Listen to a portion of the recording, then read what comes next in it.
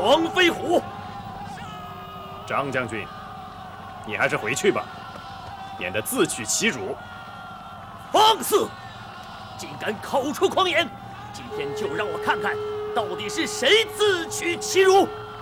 就啊！嘿！嘿！嘿！嘿！嘿！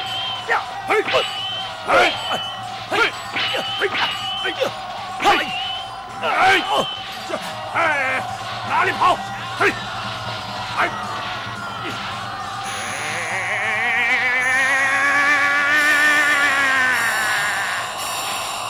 黄飞虎还不下马，等待何时？啊！啊！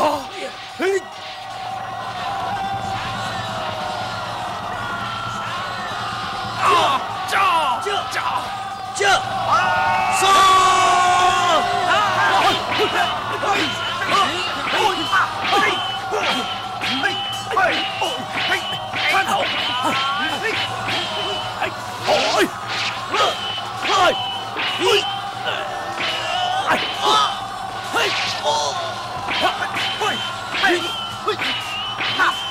传令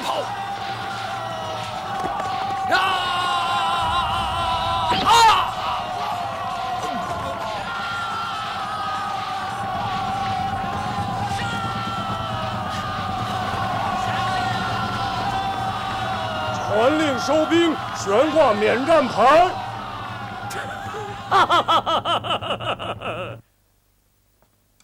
武王，我已经下令挂出免战牌，暂时拖一下，再另想破敌之策吧。可是，武成王被擒，我们若还不相救，我真怕他们会遭张桂芳的毒手。况且。我们总要想一个万全之计，以解围城之困呢。嗯，丞相，你擅长五行道术，看看有什么办法可以破他的妖法。但凡精血成胎者，都有三魂七魄。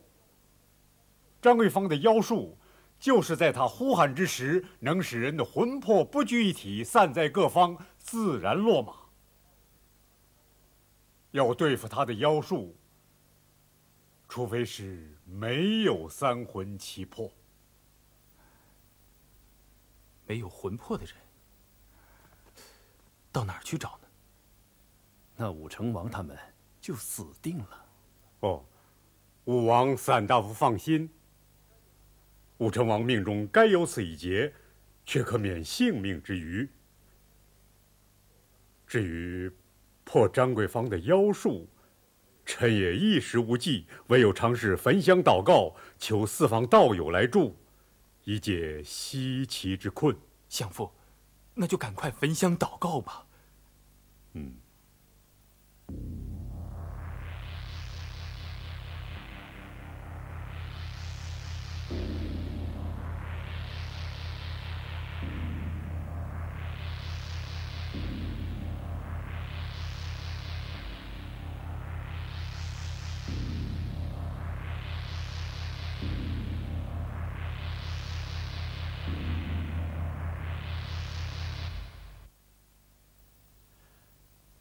金霞童子在，师傅。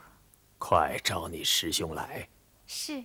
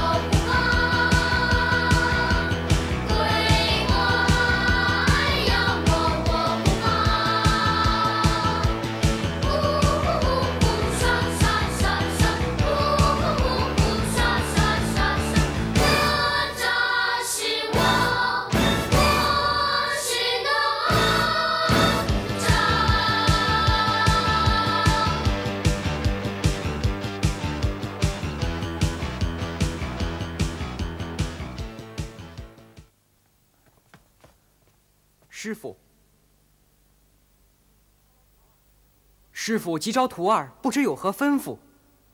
哪吒，过去你杀戒太重，我才带你上山。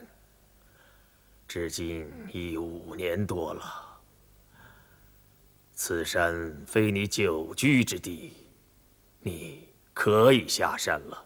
啊，师傅，你师叔姜子牙在西岐拜相，如今西岐有难，你速去辅助你师叔，新周灭商。共成大业，以应天命。是师傅。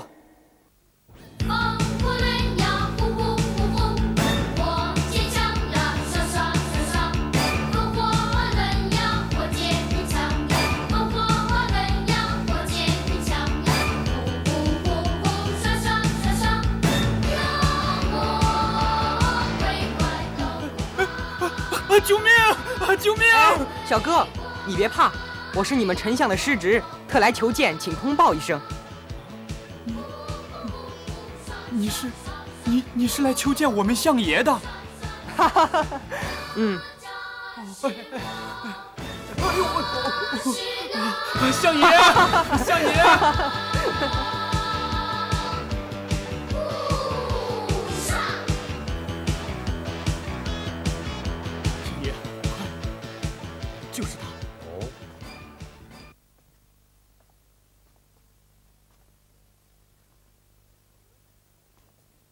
哪吒叩见师叔。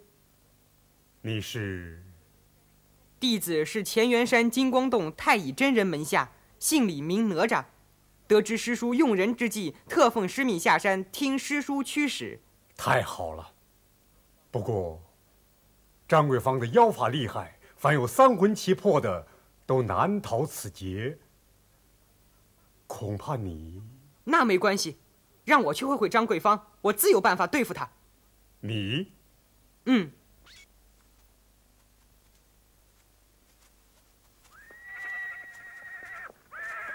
哼，我忍不住了。那姜子牙挂出免战牌，多日不战，分明是缓兵之计。难道要我们等他一辈子吗？风林，看你这着急的样子，就中了姜子牙的计了。什么？君家最忌急躁。你这样冲动，要是西岐方面出战，你再迎敌，就先败了三分。那可是，冷静一点。哎，那我们等到什么时候啊？我有一个办法。明日我们把黄飞虎、周记、黄明一块儿押到城墙之下，迫他们出战。他们不肯，我们就杀一个，务必迫他们迎战。好，他不出战就杀，看他出战不出战。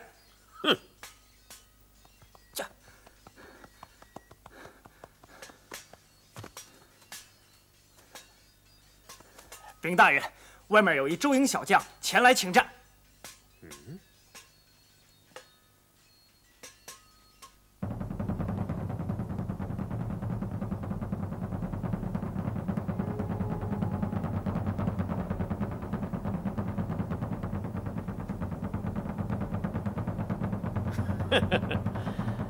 西岐无人了，竟然派个黄毛小子来送死！你们谁是张桂芳？嗯，伤了我再告诉你。驾！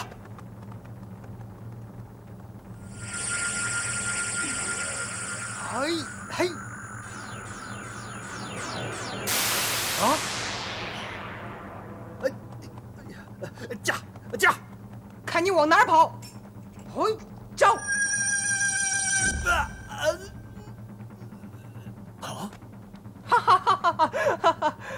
小子，待我张桂芳来会你。我不杀无名之将，你报上名来吧。好，我叫李哪吒，你有本事的可以叫我夏伦啊。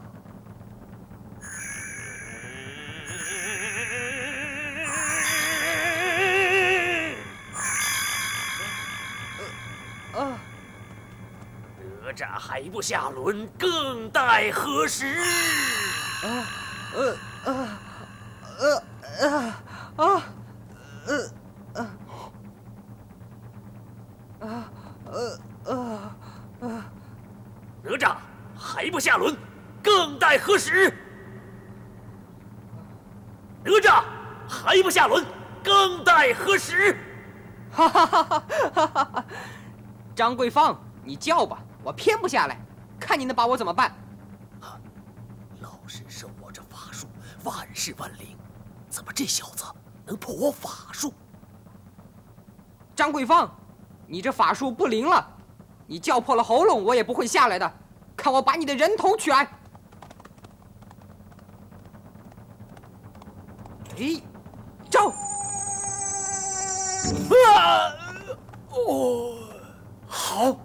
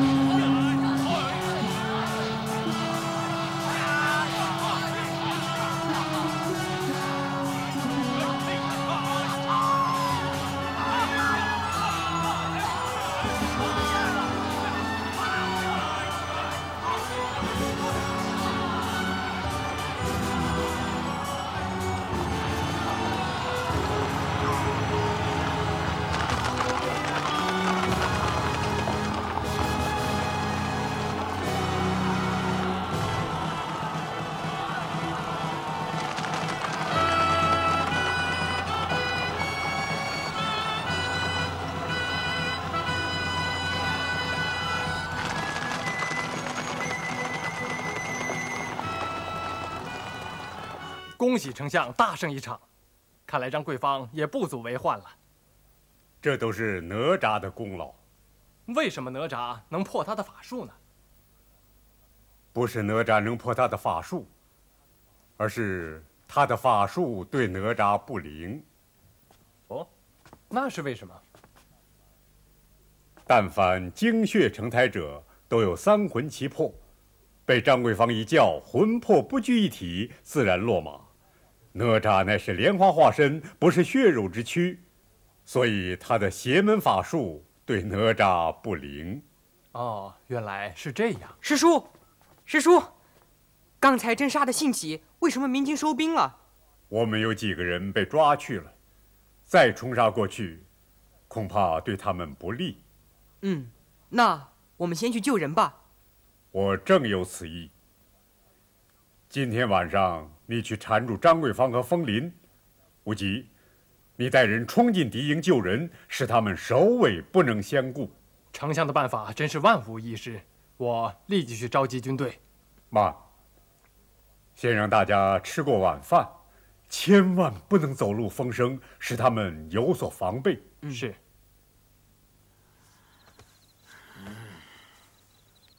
哪吒这小子，竟然连破我们两个人的道术，这口气叫我怎么咽得下去？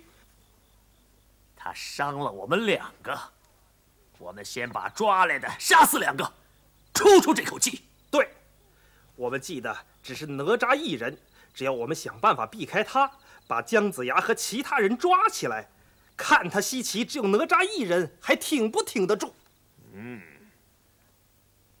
来人，将军，把黄飞虎跟周记两个带来。是。嗯，请。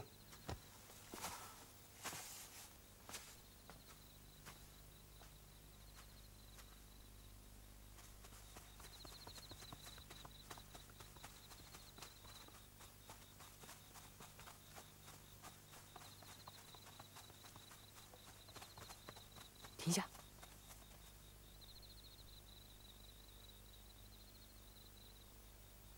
武吉，你去那。嗯。朝廷、朝雷，你们到那边去。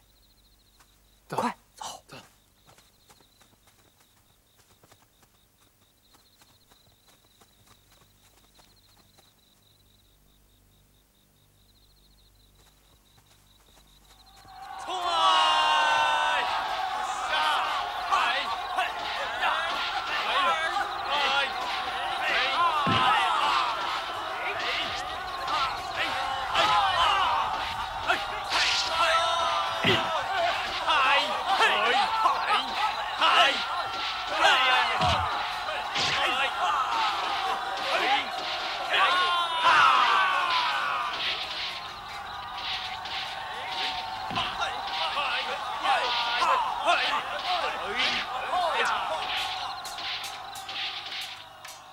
告张将军，反贼派人偷袭，粮草被人焚烧。什么？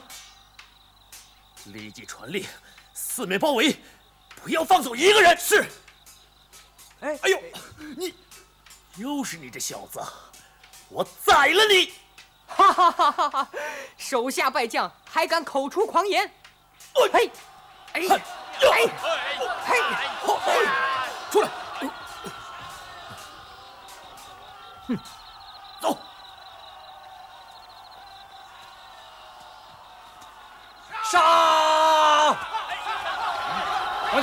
将军，我们来救你了！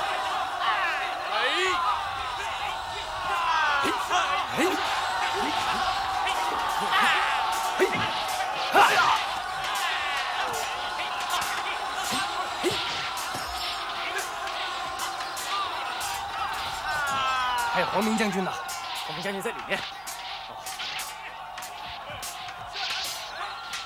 王爷，方明，程家派人救我们来了，快走！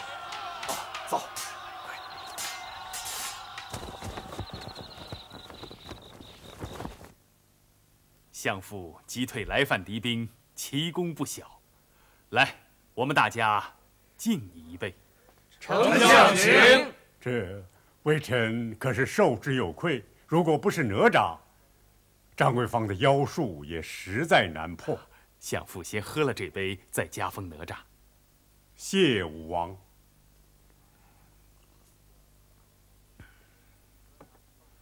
哪吒听封。在。我封你为先行官，助你师叔江丞相兴周灭纣。谢武王。恭喜先行官。恭喜先行官。感谢各位大人，来，我敬你一杯，谢你救命之恩。来，我们也敬你一杯。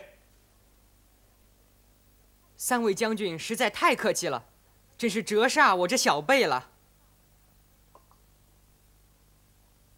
朝田、朝磊、武吉，你们三人都有功劳，我会论功行赏的。谢武王。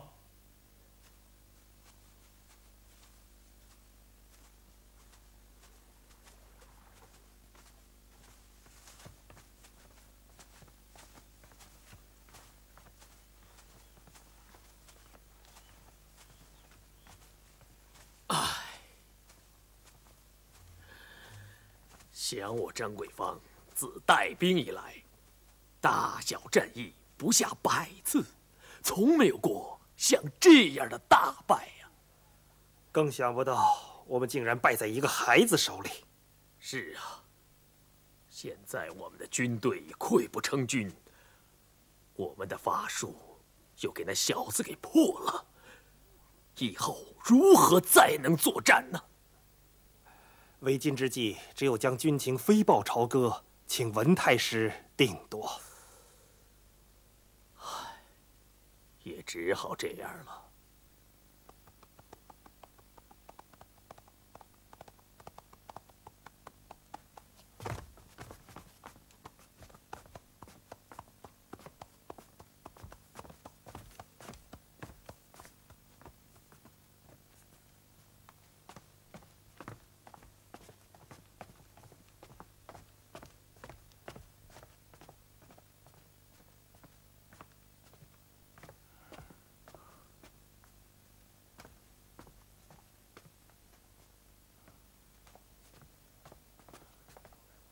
快去禀告大王，说文仲有紧急军情禀报。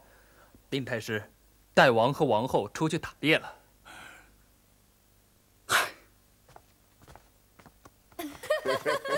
许巍，打紧，跟上来。好的，走。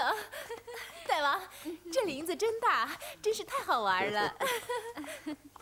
哎，嗯，打紧，你看，你看那，哎，你看。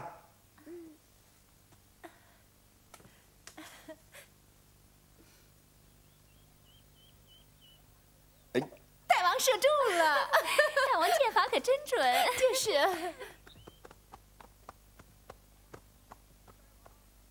大王，老太师，大王，老太师，你匆匆忙忙赶来，有什么急事吗？要没有紧急的事，也不敢来打扰大王跟娘娘行乐了。啊大王，刚才张桂芳有战报送来，他给姜子牙打败了，退兵五十里，扎营候命。怎么，这个人怎么这样窝囊？他已经连胜数阵了，后来来了一个叫哪吒的孩子，破了他的法术，因此才败下阵来。什么？连个孩子都打不过？大王，有法术的人不论年纪的老少，有道术的人不论地位的高低，大王应该明白。哦大王，文太师是有法术、道术的人，国家的事，太师应该为大王做主啊。对呀。是啊，那一切就由老太师做主了。你说怎么办，我们就怎么办。老夫受先王恩典，当以身报国，可大王也得自重，需时时反省自己，不要贪图酒色。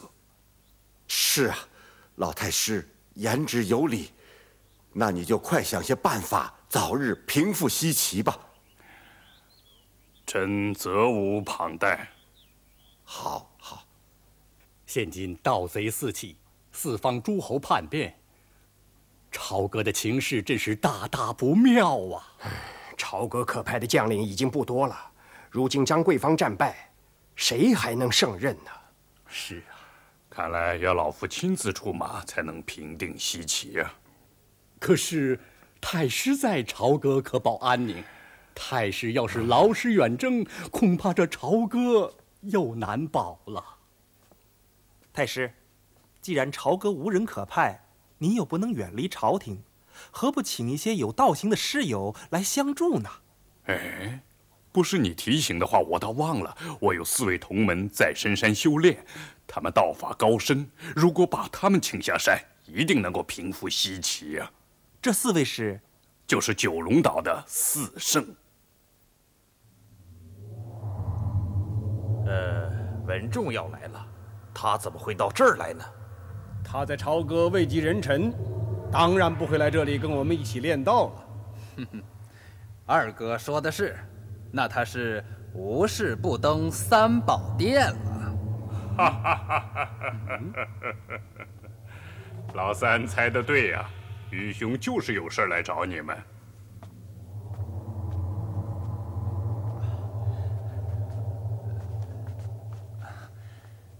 师兄久违了。四位师弟遁迹仙岛，练成高深道行，可喜可贺呀！师兄，请坐。师兄，你享尽荣华富贵，有何事到这荒岛来？啊，愚兄受先帝之托，统领朝纲重任，哪有四位贤弟这样静修之福啊？哦，师兄也想跟我们一起练道了？啊，兄俗事未了，又遇到了困难，想请四位贤弟相助啊！师兄，到底是什么事？那姜子牙兴兵作乱，我派兵征讨，又被他们杀得大败。为此，想请四位师弟出山相助。师兄有事，我们应义不容辞。可是，我们也道行浅薄，不知能否为师兄效劳解困呢？我想四位师弟一定能够担此重任。这。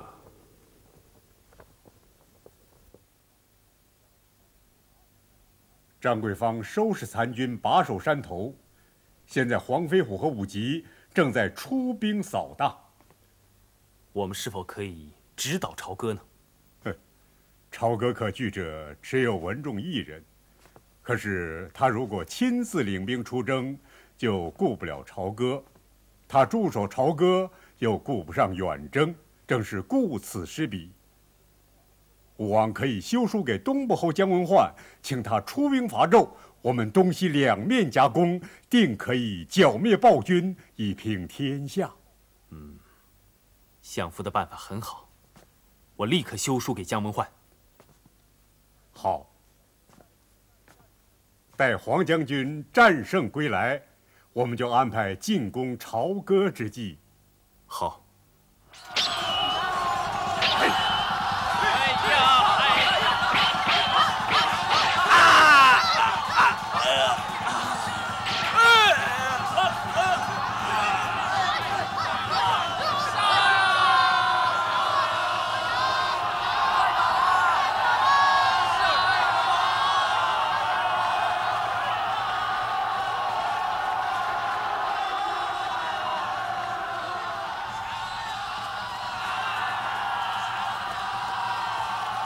站住！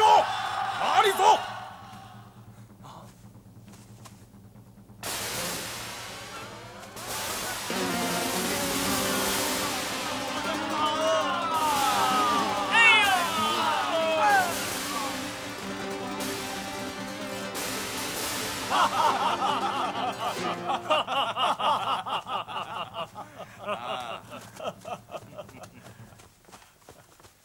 谢四位仙人相助，谢。啊谢。请起请请起请起。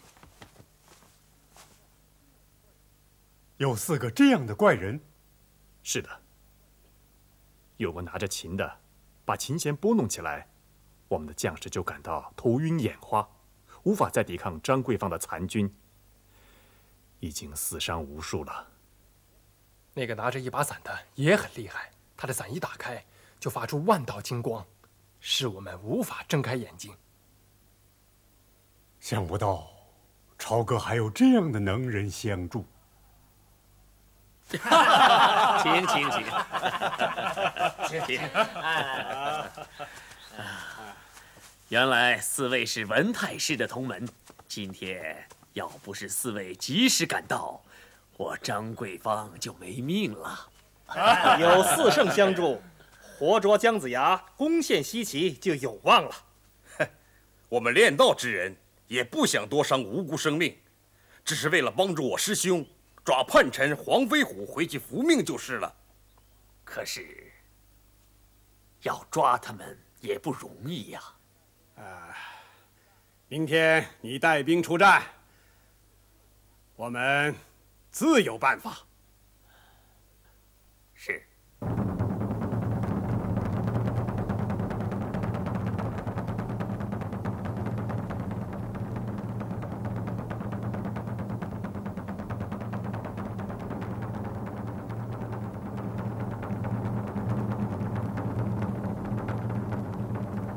们这两个败将，还敢前来送死？哪吒，不要口出狂言！今天我张桂芳就是来报仇的。哈哈哈哈哈哈！凭你们两个，听说你们请来四位异人，怎么不见？姜子牙，不要急，他们一定会来见你，要你投降的。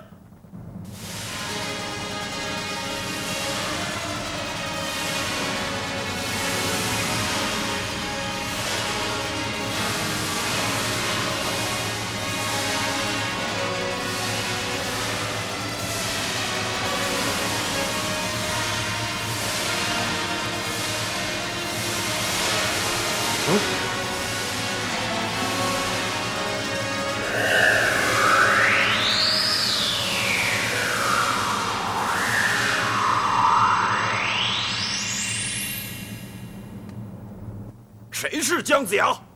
老夫就是。四位道友是哪座仙山何处洞府？到西岐来助纣为虐，实在不该。哼，不该的是你，姜子牙。我们是九龙山炼气道者。王魔，二弟杨森，三弟高有钱，四弟李兴霸。你只要依了我们三件事情，我们就不动干戈。哪三件事？第一，要武王向纣王称臣。道友之言差矣。我武王乃是明主，怎能向暴君称臣？你再说这第二件。开了西岐仓库，给张桂芳三军赔偿。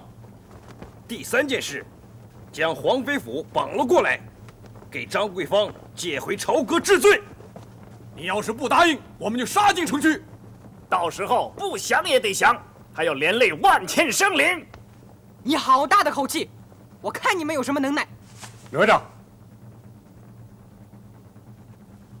道友所说的三件事，一时之间老夫也难做主。待我回去禀报武王和群臣商议了，三天之后给你们答复。不行，你这是缓兵之计，谁知道你又出什么鬼主意？算了，三天时间他也练不出什么法术来，到时候他没有答复的话，我们再动手也不迟。听着，三天不许再拖，也不能再拖。不止黄飞虎，还有他父亲黄滚也一并带来。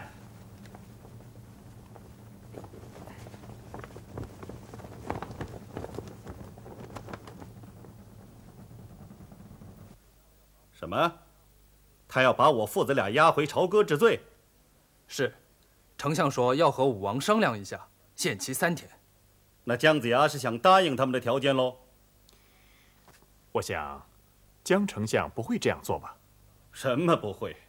打不过人家，就拿我们做牺牲品吗？我们到底不是西岐的人呢。嗯，是。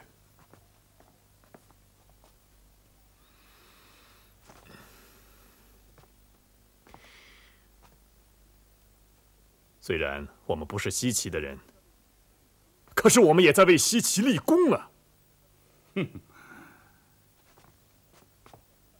你替西岐立功，可人家不当你是功臣。当初我就劝你，叫你不要反叛，破坏我们皇家七代忠良的名誉。嗯，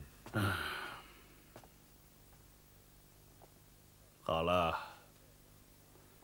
现在给他们押回去，非但性命不保，而且遗臭万年。我要问问姜子牙，向他讨个公道。哎，这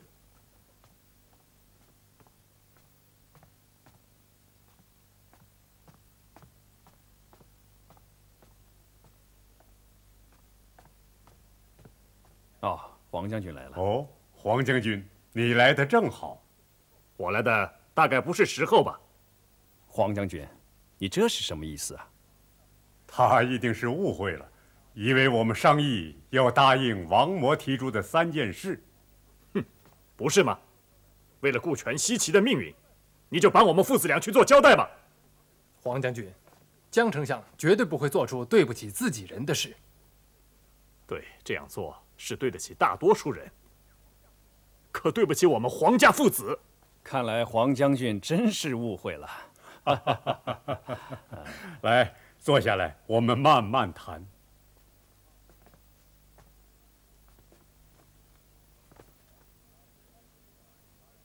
我在镇上答应三天考虑之期，正如张桂芳所说，是缓兵之计。看来九龙山四圣的法术，我们没办法破。所以，权且答应他们，好再做考虑。我们商议只有一个办法：丞相去昆仑山一趟。上昆仑？嗯，去见我的师父元始天尊，求他指点我化解危难。刚才我们正在考虑，由你和南宫将军代掌西岐兵权。三天之内，我一定赶回来。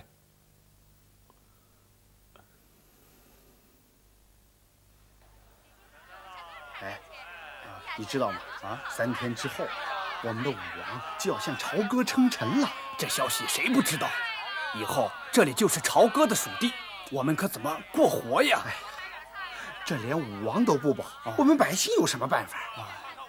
我看我们还是赶快逃吧。逃？哼，你逃到哪儿去啊？听说那四个怪人叫什么四圣的？哦，那法术啊非常厉害，连江丞相都斗不过他。那这城外又都是张桂芳的军队，那怎么办？是啊，这事还真讨厌。我看还是想办法逃吧。好，我们还是赶快逃吧。师傅，弟子修行日浅，道行浅薄，在西岐屡遭败绩，恐怕。有负师傅所托。世间的事，哪有不费些精神气力就取得成功的道理呢？只要你尽了力，成功失败自有天意。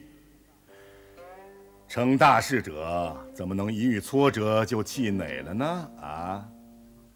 江上谨遵师傅教训。人世间，万事都要顺天应命。祸福自有定数。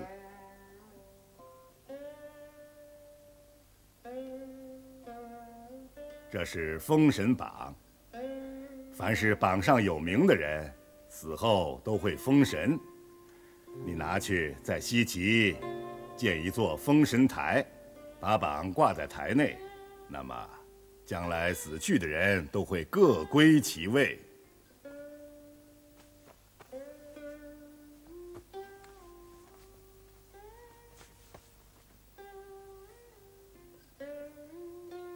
弟子谨遵师命。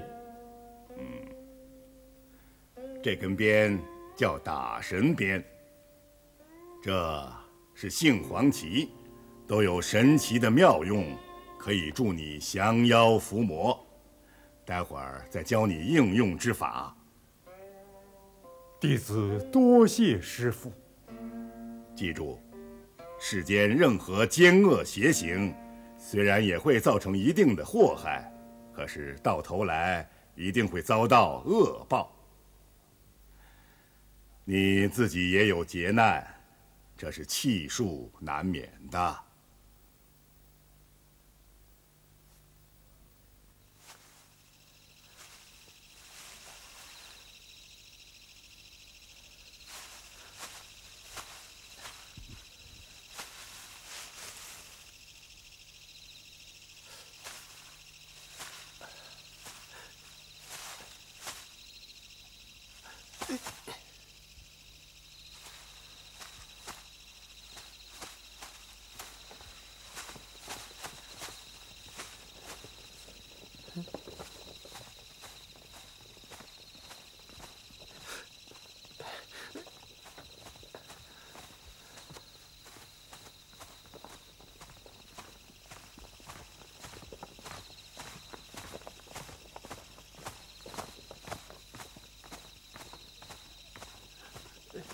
谁？不许动！别动！别动！什么？老实点！饶命！你是什么人？躲在这儿干什么？我，我是西岐人。啊，是西岐的奸细。啊，不不不，我不是奸细，我真的不是奸细。我有重要的情况要去报告张桂芳将军。嗯，要见我们将军？对对对。先把他绑起来。是。你是纪昌的第三子，纪发的弟弟。是是，我叫伯安，本应由我来继承父亲王位的，可是纪发不义，为了夺位，手足相残，把我贬为平民。啊，原来是这样。那么你到这儿来见我的意思是？我要告诉张将军。姜子牙他们绝不会同意你所提出的那三件事儿。可是，我可以助你们一臂之力。你有什么办法？要控制西岐大局，首先要控制姬发，然后对付姜子牙那些人就容易了。怎样才能控制姬发呢？先把他抓起来。可是他住在深宫，又有姜子牙等道行高深、武艺高强的人保护。不打败他们，如何抓得姬发？我自有计策。什么计策？不过，好吧，说出你的条件吧。事成之后，你带姬发回朝歌领功，由我来继承西伯侯的爵位。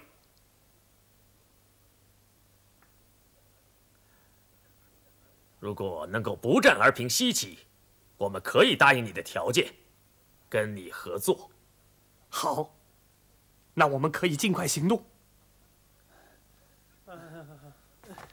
站着，干什么的？哦，我们在市场上看见这个快要病死的人，他让我们把他呀抬到这里来。是啊，我们以为他快要死了，可是他说他是被贬的太子，要临死前见见太后。你们看看认识不认识他？哎呀，哎呀，哎，哦，真是三公子啊！嗯。哎呀，哎呀，哎呀，博爱，我的儿啊，你怎么会成这个样子？母后，我对不起你。我即将要离开人世，不，唯一的希望就是能在母后的身旁死去。不，你不会死的，不会的，快叫太医来。不是，不要叫太医来，不要惊动宫里的人，我怕哥哥会。你哥哥是量大之人，他不会记仇的。何况你是他的弟弟。这样吧，你先在这里休息养病，待我跟你哥哥去说说，叫他留你在宫里居住。啊，哥哥，他会答应吗？会的，他一定会答应的。不过。这几天他很忙，他总是要很晚才能回宫。明天，你再去告诉哥哥。啊，我的罪孽太深，我要向他忏悔。孩儿，你不要再说了。时间不早了，你带这几位大哥去用膳休息。我要好好的谢谢他们。谢太后恩赐。走吧，你去煮点参汤来。是。慢，再拿一身新衣服，给三公子换换。啊。是。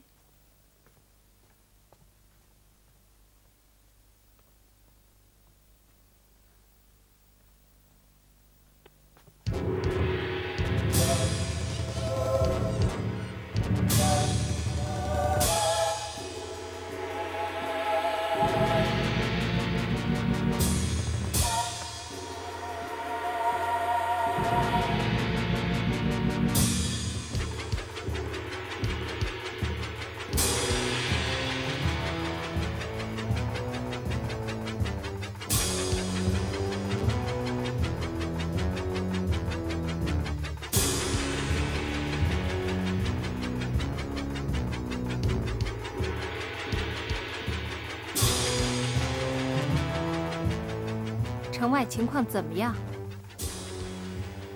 张桂芳的军队倒不可怕，只是那四个妖人的法术太厉害了。我们不会答应他们提出的三个条件吧？当然不会。此事待相府回来以后，自有办法解决的。嗯。哦，今天有四个人把不安抬回来了。他发生了什么事？听宫里的人说，他病得很重，临死前要见见母亲。哎呀，你怎么不早点告诉我呢？哎，你现在去看他？是啊，赶快叫人去找太医呀。嗯。